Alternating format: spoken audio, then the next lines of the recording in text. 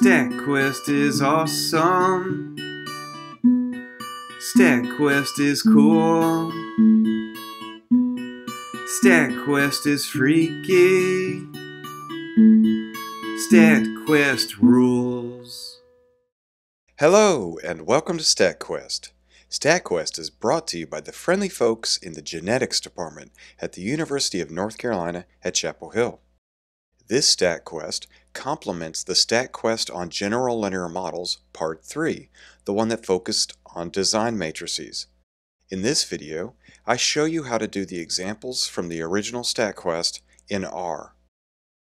In the original StatQuest, we were interested in determining if there was a statistically significant difference between the size of control mice versus the size of mutant mice, given that we had measured their weights and we ended up with this equation, y equals the control intercept plus a mutant offset plus the slope.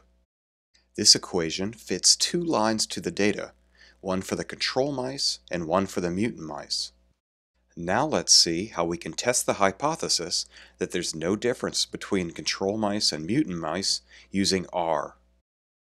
The first thing we do is we create labels for the control mice. Then we create labels for the mutant mice. Now we enter the weights for the control mice, followed by the weights for the mutant mice.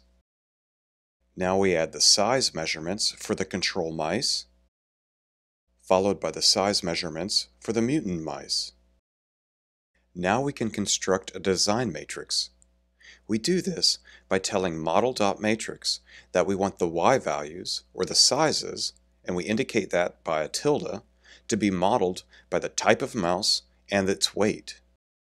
You'll notice that we didn't have to specify that we wanted a term for the intercept. R assumes this by default. Also, you don't actually have to call model.matrix. The linear models function will do this for you, but I like calling it just to make sure that the design matrix looks the way I expect it to. The first column in the design matrix will be multiplied by the control intercept. In this case, the control intercept will be on for all of the measurements. The second column in the design matrix will be multiplied by the mutant offset. In this case, only the mutant values will turn the mutant offset on. The last column in the design matrix will be multiplied by the slope.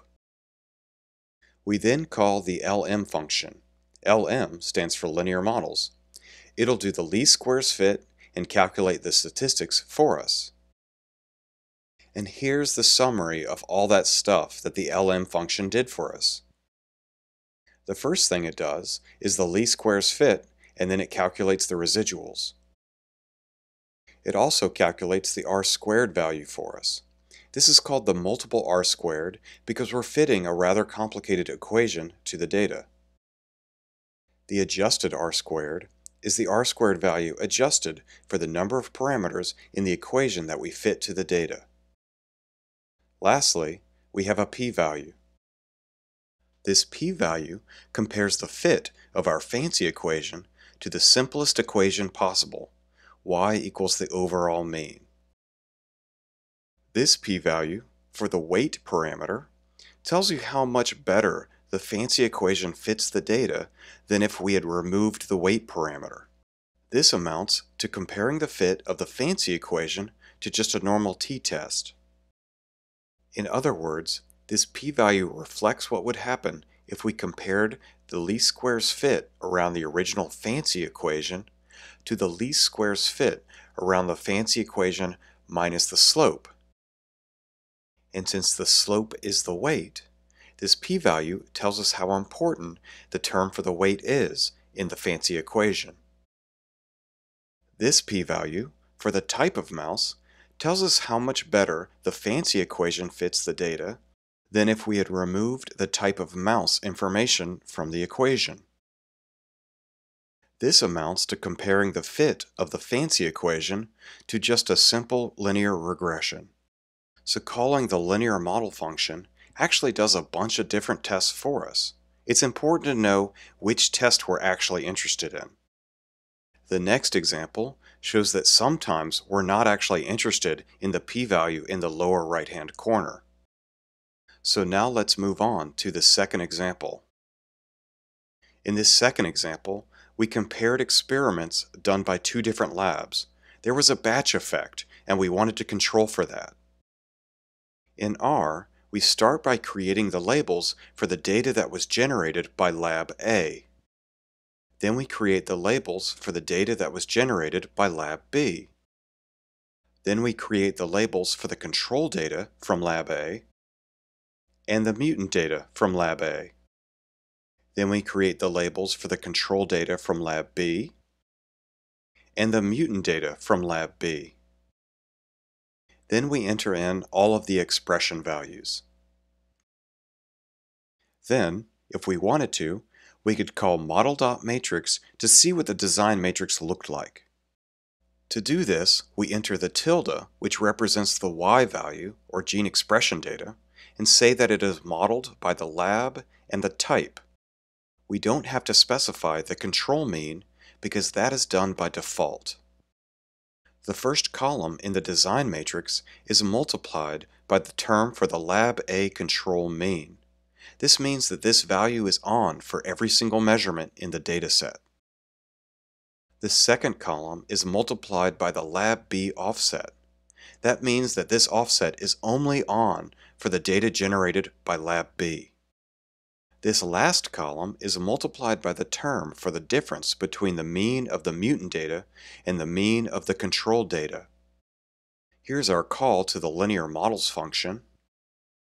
And here's the summary of everything that the linear model function did for us.